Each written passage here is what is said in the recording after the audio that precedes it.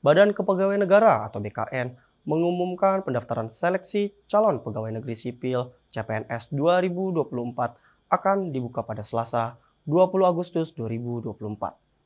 Diberitakan medcom.id, pendaftaran dilakukan secara online. Pengumuman tersebut tercantum dalam Surat Kepala BKN perihal jadwal seleksi pengadaan CPNS tahun anggaran 2024 tertanggal 13 Juli 2024.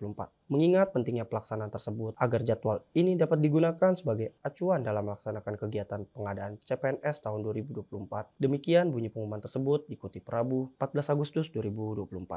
Sahabat Lampung Pos, jangan lupa baca edisi cetak harian umum Lampung Pos atau Anda juga bisa berlangganan koran digital lampungpos.co.